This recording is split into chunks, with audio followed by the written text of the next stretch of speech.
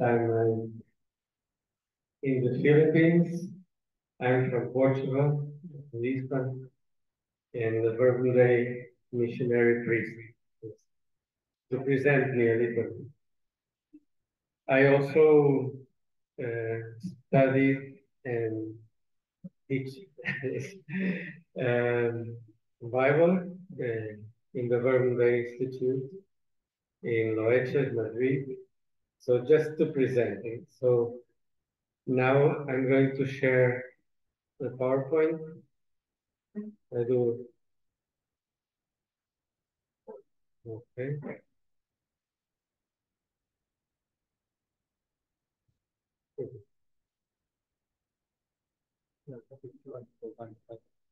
Another one.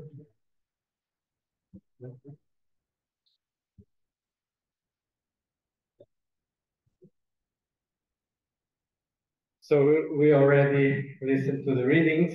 I will focus mainly the gospel, though it's very related with with the other readings both. Usually the first reading and the gospel, you know, are more related. But also there's the, the spirit uh, made me find a very uh, great connection between the gospel and also the second reading. So I will start with the context of the gospel. It's the first verses. And it's Jesus comes from the other side of the lake and he has just arrived and uh, a, a large crowd gathered around him so they were waiting for him. They knew he was arriving that place and they were already waiting for him. Because he did a lot of healings, he was already famous uh, in this mission, the first part of the Mark's Gospel. So, and he stayed close to the sea. This is important because when Jairus, how do you say it? Jairus, Jairus, Jairus, Jim. When Jairus arrives, he's just he's just about just leave left the, the boat. So he has just arrived. So Jairus also was waiting for him. So this expresses a lot of the need, and he was expecting him to arrive to to land, you know. So one of the synagogue officials named Jairus came forward. He was there and he fell at his feet and pleaded earnestly with him. So we listened already to the gospel, so I'm not repeating them because I didn't know exactly uh, you read it before. No? Uh, so I start underlining some words. This would be like the first part of prayer with the word, reading closely the, the word. And he fell at Jesus' feet. So this means that he is humble and he recognizes in Jesus the Lord. He's not said directly, but falling at the feet. And he's just pleading earnestly. So every word, every word has a deep meaning that we'll see later. No? Earnestly insists. He is very needy of what he's asking Jesus. No? And it's the cure of his daughter that is at the point of death. No? She's about dying. And he shows his faith. No? If you come and lay your hands on her, she'll get well and, and live. So here we can see the faith that Jairus has in what Jesus can do with his daughter. So also Jesus answers his plea immediately. Doesn't say Jesus, wait, I'm busy, I just arrived. he immediately goes with him. It's um, It also talks a lot about Jesus' compassion for him. And also, it's an important detail after to interpret, and that he's surrounded by followed and pressed upon by a large crowd. So this is very important because of the woman. Uh, and then on the way to Jairus' house, there's this woman.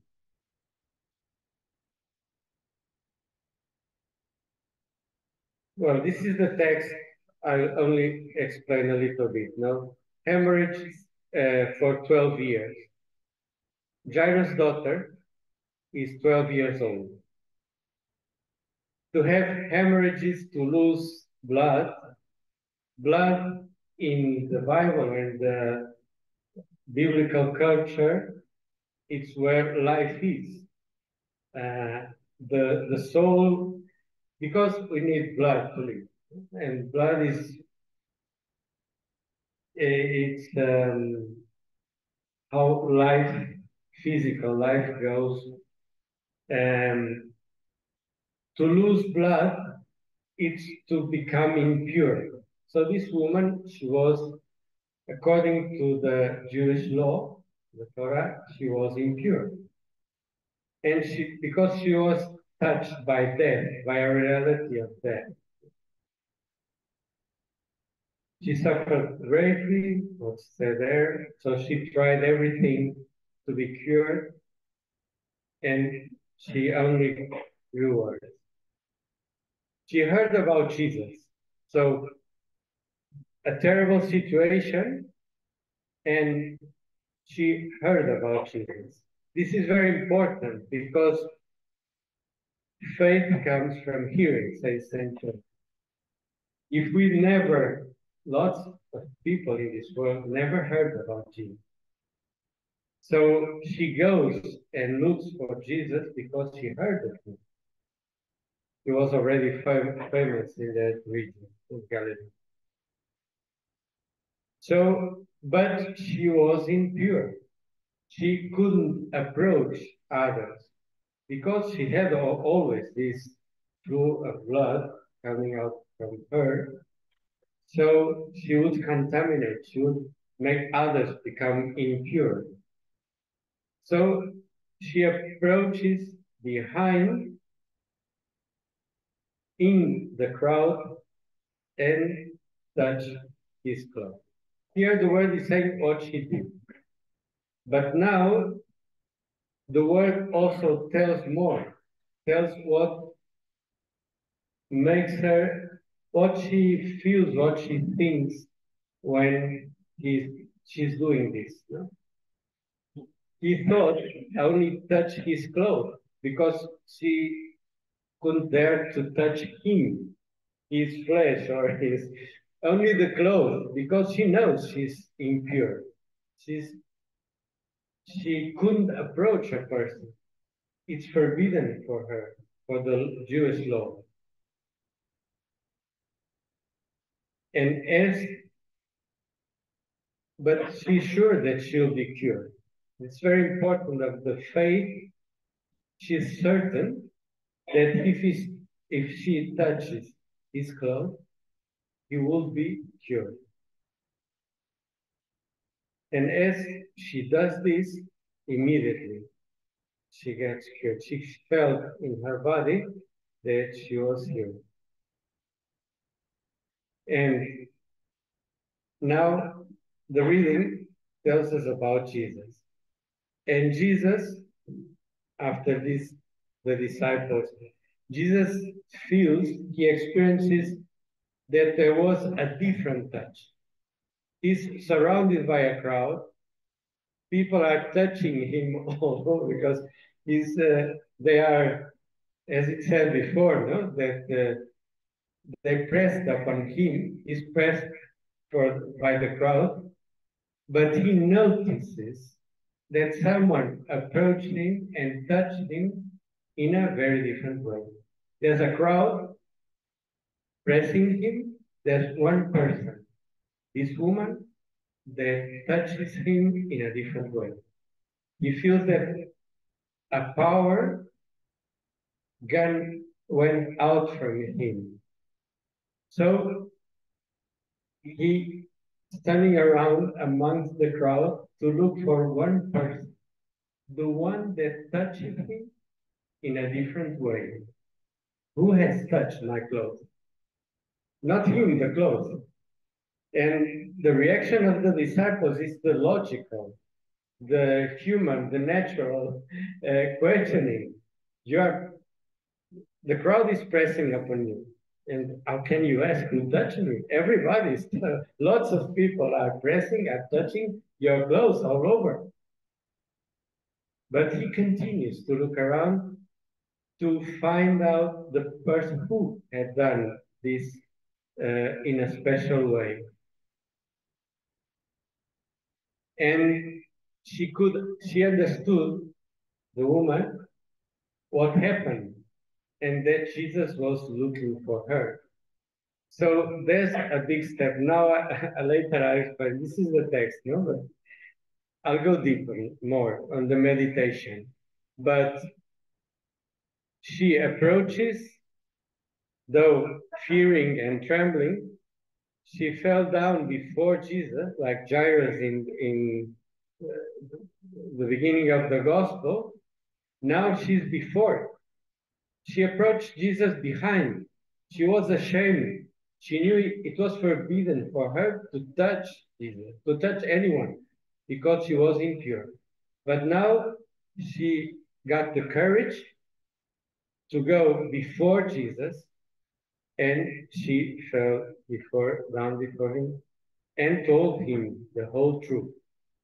So it's confessing that though being impure and forbidden by the Jewish law to approach anyone, she did this with Jesus because of her faith. And then I'll explain later, no? But it's very important the answer Jesus gave to her. Daughter. He calls her daughter. She's now not anyone. It's sometimes we read fast now. Jesus calling her this woman, this impure woman with this blood sickness for 12 years, his daughter, because now she has a new life. Your faith has saved you. What saved you was, well, I'll ask you later. Go in peace and be cured of your affliction. It's like the certificate. No? Now you can go, now you are cured. So, um, well, because this is the other miracle. I don't know if I, I can maybe you can go hmm, meditate a little more on the woman and then jump again to the Jairus daughter. Well, this uh,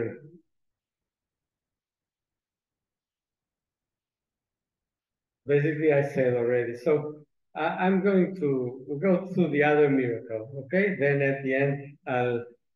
So, while he was just speaking to the, the woman, people from the synagogue officials, well, they arrived and said that your daughter has died. Why trouble the teacher any longer? So there's no no matter to uh, don't go further. You, know? you can stop here. There's no need to go to the house anymore because uh, she died. You know? And Jesus doesn't disregarding, this is the translation here, Jesus doesn't listen to what they're saying. And this is very important, you know, then to later for to apply to us, you know, in the prayer because there always are voices that are saying, this is finished, this is over. The, so Jesus disregards what they're saying, and he says to the synagogue no? do not be afraid, just, just have faith. Continue to believe. He had already faith. He went to ask Jesus to come to his house to heal, put his hands upon his daughter to heal her. But now they he knows that she died, at least what they, they said, but have more faith, you know, just have faith. Don't be afraid. Like Jesus. And he didn't allow anyone to accompany him except Peter, James, and John. Um, because I also related this with the, the crowd that was around Jesus, because why they were so close to Jesus, but there was not the, there was no connection between Jesus and these people around because they were not believers. They were like uh, watching what happens, what's going to happen. It was a show at the time. Jesus healing, uh, talking. it was should be very attractive for the people. Jesus only chooses these three uh, disciples that start to believe and to go to the house of Jairus and experience. When they arrive at the house, they're weeping, wailing loudly, the people, because the, the girl was already dead for them.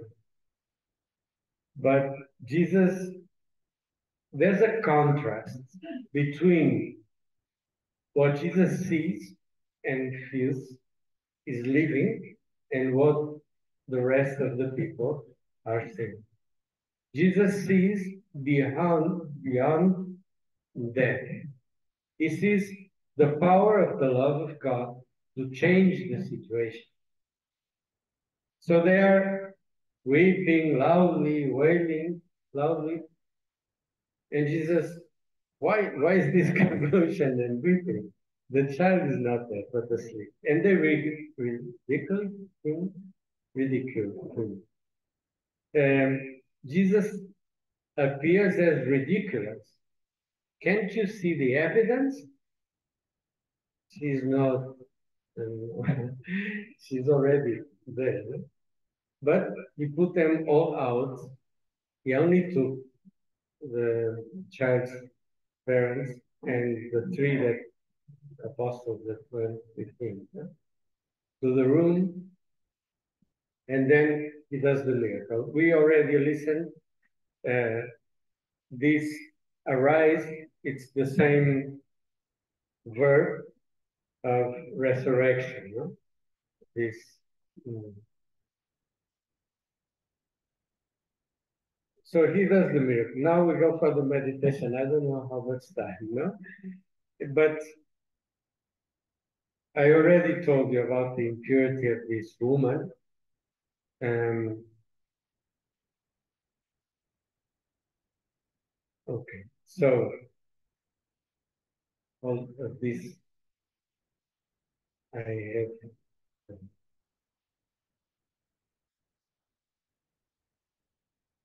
So there's a difference between being with Jesus, close to Jesus. I think this we can apply a lot to our life.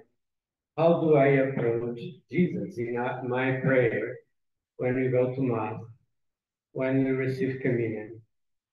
Is there a real encounter and a real touch?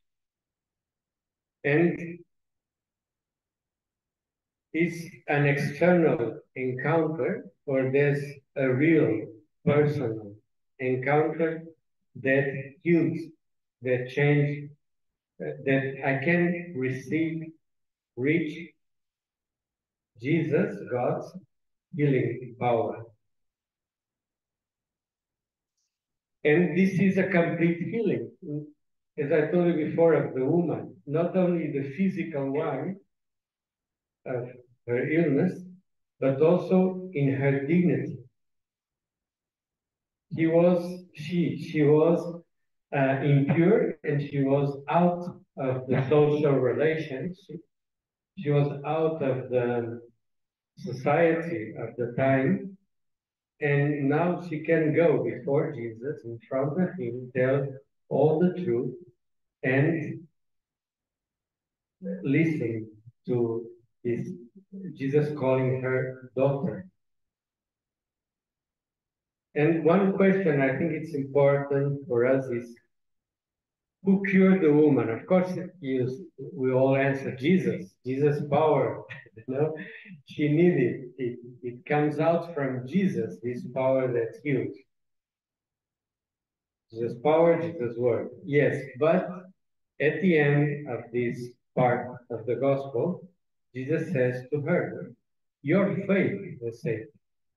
Like if Jesus is saying, It's not me, or it's him, but without her faith, she wouldn't be healed.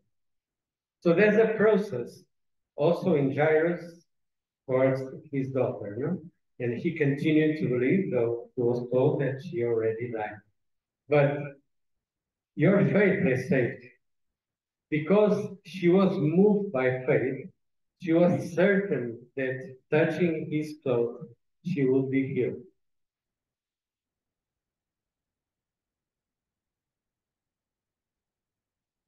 There's a thing that I, I want to, as a guideline, you know, for your prayer, uh, relating also with the second reading. Because this woman, and as Jairus also, they are living a situation of poverty.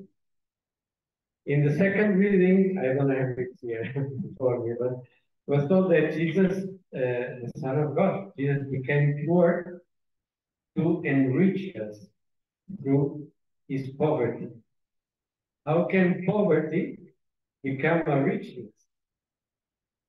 And I was reminding, I remember one situation I was just ordained priest a long time ago.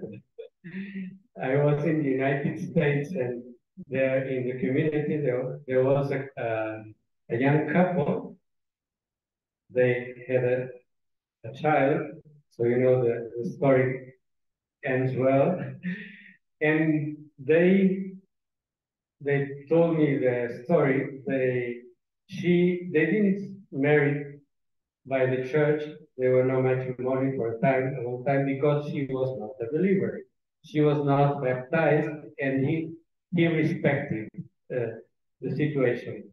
And when she was pregnant and after the delivery, the baby has an illness, and he needs a surgery. Being a, a, a newborn baby, very I don't know how old was the, the baby and in that very difficult, because it was a dangerous surgery, difficult situation in the hospital, there was a chapel and he, he was, he believed, he went to pray. And I remember them told him, telling that she didn't understood what he was doing. He was praying. At that time, she understood that he had someone to ask for help, someone to trust him that she didn't. So a situation of, of poverty, of difficulty, was an occasion for her to open to faith, to ask him, what are you doing? he was kneeling praying, what are you doing? What tell me about this that you can ask for help that I don't have, I don't know. And I also remember no, that, well, in Portugal, the, he was prime minister, then president of the republic for a long time. He already died, a very uh, historic uh, person. And um, at, atheist, okay, he did no non-believer, no? And his wife too. And one son uh, had an accident in a helicopter. It was a long time during the civil war in Angola. He had this accident and he was very badly uh, among life and death. And his mother went to ask for help to the parish priest there. It was the same parish where the Verbum founded in, in Portugal. No? That's why I know the story. And because of that, then this woman converted, started to participate in the community, go to mass every Sunday. So I what I was well, I think is a situation of of poverty, of need, uh, becomes an opportunity to find, to encounter the power of faith, the power of God. So many situations in our life that we experience as poverties, as needs, as things that still need to be healed, change our vision when we have faith, when we know that we can go approach God that wants us to live to the full. Was the first reading. And He is the source of this full life.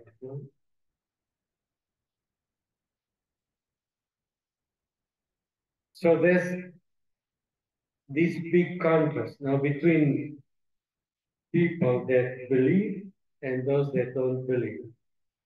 That believe in a God that has the power to heal and that loves us so much that he wants us to live to the full. And we all have different kinds of hemorrhages or different things in us that are our weaknesses, to see this not as um, a bad thing, but an opportunity to approach Jesus in a more humble and true way, and to open to an experience of faith, of living faith of this power.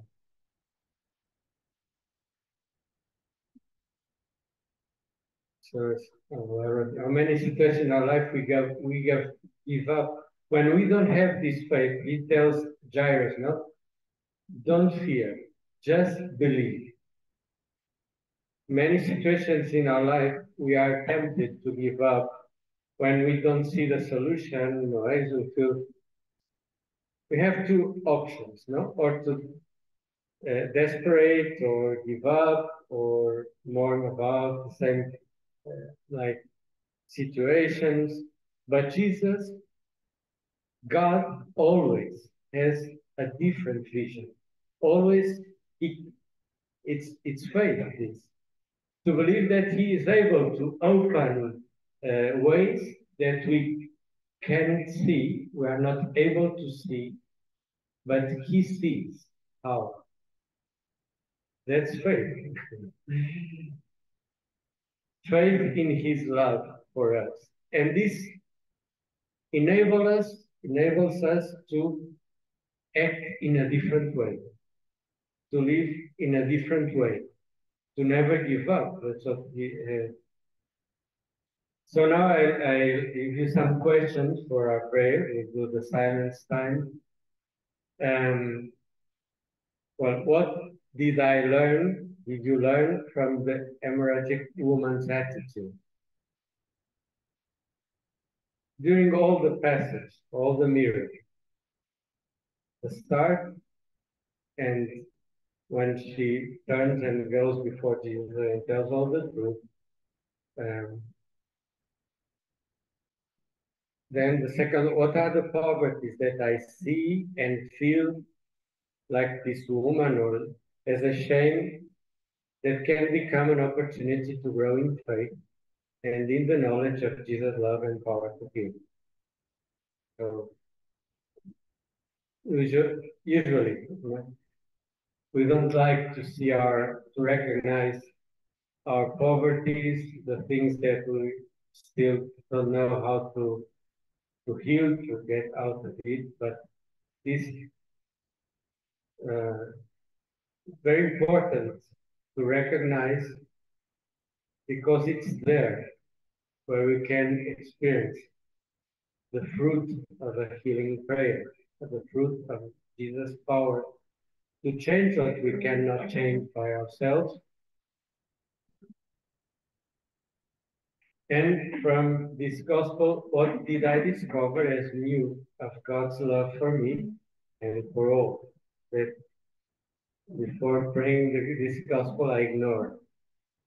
And, and so this can become a conversion for my relationship with Him, with, with Jesus, and also with my neighbors, brothers, and sisters. Many times also we are tempted to say this person is like this, will never change, there's no solution. Uh, that's it. No, it's uh, when you talk about this person's problem, difficulty, uh, even Jesus changes, wants change. Our way of thinking, our way of feeling, also towards ourselves and towards the other. This is different. He could call this woman daughter. She was before impure. He can say to Jairus uh, and to the, those that were there crying and wailing, the child is not dead. For God, we all live. We are alive, and we, there's always um, a way to live better, to, to live more fully. So this also changes the way we look, especially for these difficult situations, like the woman and Jairus' daughter, and the way we face these realities in ourselves and in others. So now we are going to have this time of silence and prayer.